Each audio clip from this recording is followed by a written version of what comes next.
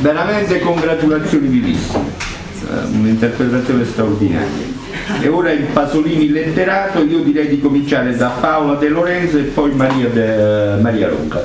Diamo anche, ecco, certo. per ovvi motivi, la parola alla dottoressa De Lorenzo e poi subito dopo interverrà io.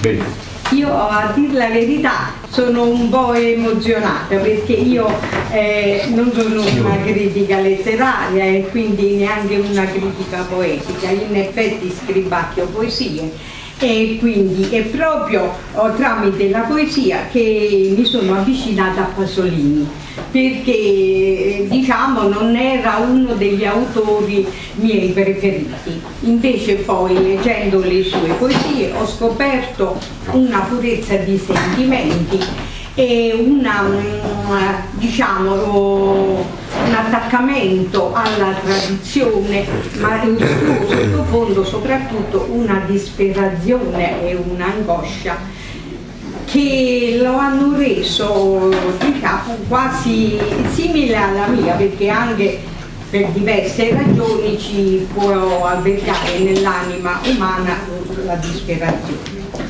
però alla base della poesia di Pasolini per inquadrarlo eh, perché io tratterò un poco più della poesia eh, dobbiamo oh, riporto alcune sue frasi che saranno poi su cui si baserà la sua poesia.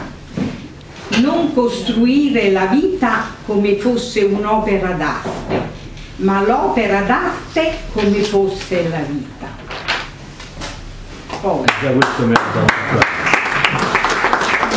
sviluppo del mio individuo, della diversità, sono stato precocissimo. Non mi è successo di gridare d'un tratto sono diverso dagli altri, con angoscia inaspettata.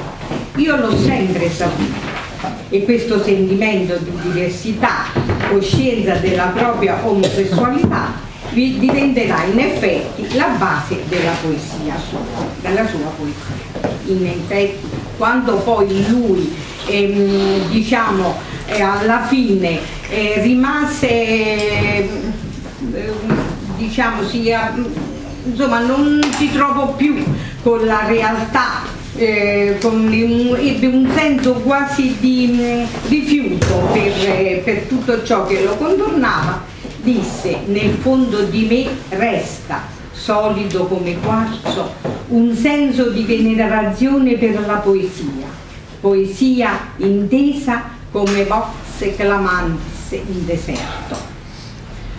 Ah, adesso a 40 anni, adesso facciamo un po' di excursus, a 40 anni dalla sua morte è stata rivalutata in effetti tutta l'opera di Pierpaolo Pasolini.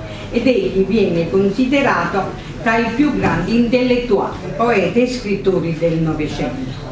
Fu un grande amico di Moravia, con cui direggerà la rivista Nuovi Orizzonti.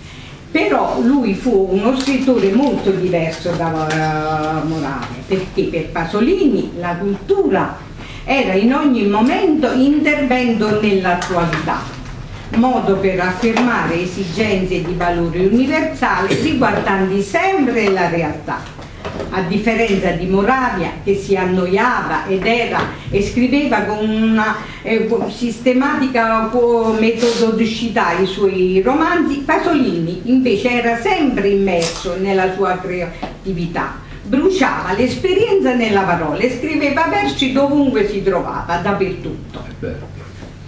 L'opera postuma di Pasolini, appunto, eh, Petrolio, è accompagnata appunto da una lettera di Moravia in cui mm, eh, Moravia eh, insomma, indicava il carattere problematico di quest'opera definendola addirittura angosciosa e terribile come abbiamo detto, Pasolini nasce a Bologna nel 22, da suo padre Callarberto era un tenente eh, dell'esercito, però ha avuto con eh, Pasolini ebbe con il padre sempre un eh, diciamo un rapporto conflittuale. Contrastato, contrastato. Tanto è vero che mh, mm, lui si attaccò così tanto alla madre che si può dire che la sua omosessualità derivi proprio dal rapporto oh, del padre, con il padre conflittuale che preferiva il fratello Guido e il, il, rapporto edipico con la madre che poi sarà,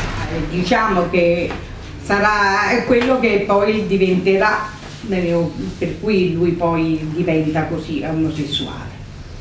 Eh, passa, lui andò in giro per l'Italia, andava perché il padre era ufficiale di carriera, però passavano tutte le estati a Casarsa, in questo paese friulano dove era nata la mamma.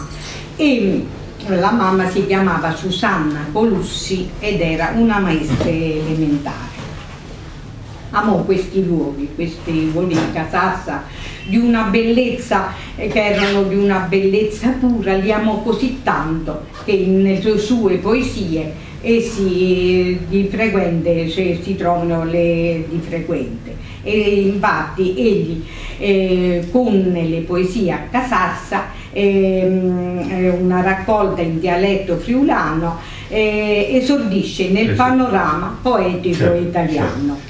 Esse racchiudono forse i momenti più alti della sua poesia, che poi, poi mm, ed erano di una dolcezza e di una mm, musicalità straordinaria queste, queste poesie poi saranno incluse nel libro più noto La meglio gioventù. Egli in queste poesie con nostalgia ricorda le sue prime esperienze di vita e soprattutto l'amore verso la madre. L'amore verso la madre ritorna sempre e con frequenza in tutte le sue opere poetiche, da Lusignolo della Chiesa Cattolica a poesia in forma di rosa. La madre addirittura è vista sempre come una fanciulla la cui bellezza assume i caratteri di, di un ragazzo. Si stabilisce poi con la mamma a Roma e qui eh, l'impatto con, con, questa città così violenta e carica di vitalità porta a una svolta eh, nella, diciamo, nella sua vita e anche nella, mm, eh, nella, sua, eh, diciamo, sue, nella sua scrittura. Però eh, lui, è una svolta. È una svolta, è una svolta. Però in mentre, in, in, mentre, lui scrive saggi, e poesie, articoli sul giornale, si nota sempre in lui una grande contraddizione perché c'è uh, un desiderio di purezza assoluta di valori forti legati alla tradizione contadina e la sua omosessualità, che gli impone un rapporto con la realtà sotto il segno dello scandalo e dell'impurità. E poiché egli cerca sempre nuovi incontri nei luoghi più degradati del tessuto sociale, egli in effetti eh, trova sempre nuove occasioni di confronto tra il mondo intellettuale e la vita quotidiana, ma soprattutto avverte le profonde trasformazioni nel passaggio dalla civiltà contadina a quella del benessere certo. eh, consumistico, una parabola che porta a lui che non era ancora pronto dalla campagna friulana alla degradazione urbana delle periferie eh, romane degli anni 70 ma soprattutto lui lo indignano i caratteri che assume il consumismo e il fatto che essi deturpi l'aspetto urbano e naturale dell'Italia. E così esso si stia modificando anche il carattere degli italiani crollano gli antichi valori tradizionali e si diffonde in tutte le classi sociali un edonismo spicciolo, egoistico e criminale. Tra i responsabili di tale degrado Pasolini indica la televisione e le scuole di massa come modelli di insolenza ed spietatezza, soprattutto nei giovani.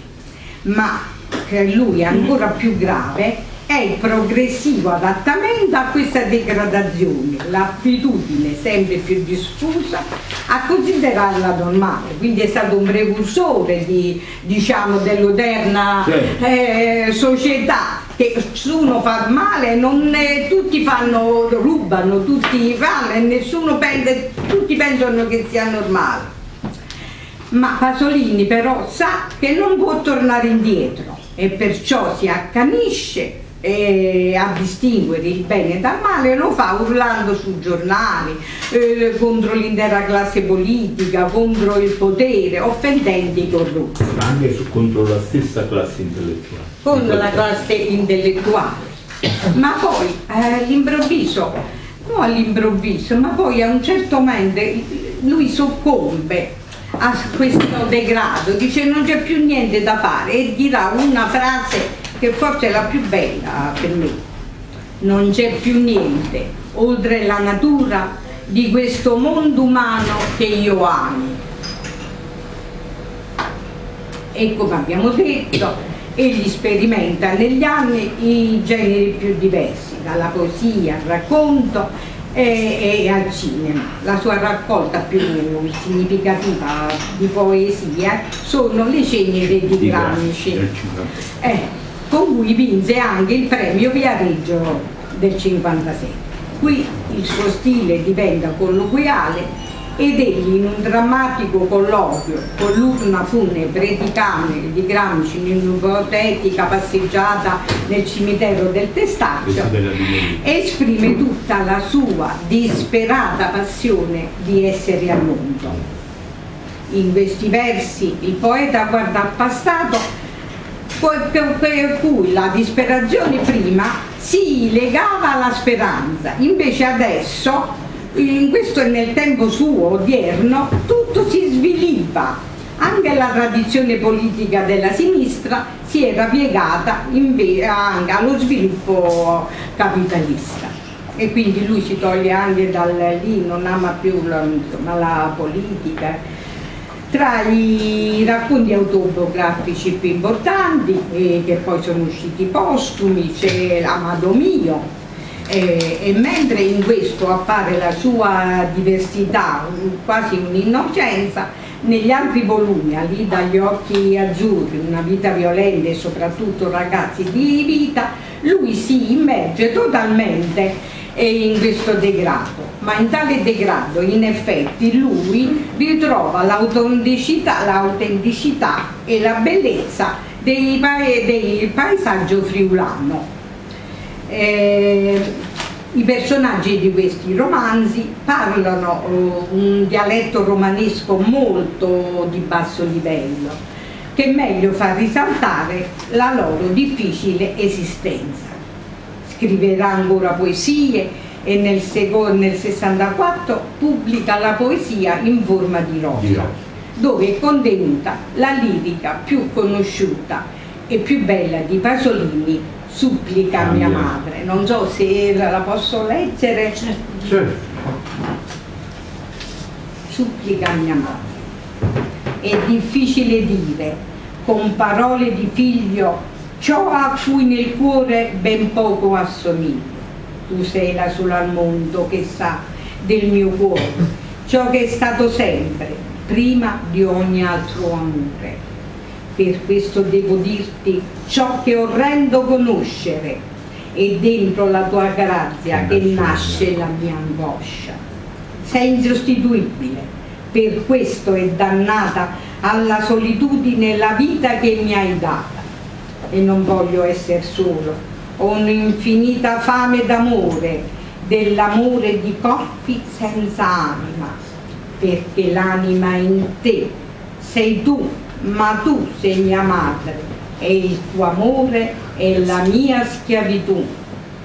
Ho passato l'infanzia schiavo di questo senso atto irremediabile di un impegno immenso era l'unico modo per sentire la vita, l'unica tinta, l'unica forma, ora è finita, sopravviviamo. Ed è la confusione di una vita rinata fuori dalla ragione. Ti supplico, oh ti supplico, non voler morire, sono qui solo con te in un futuro aprile. Bellissimo. Bellissimo.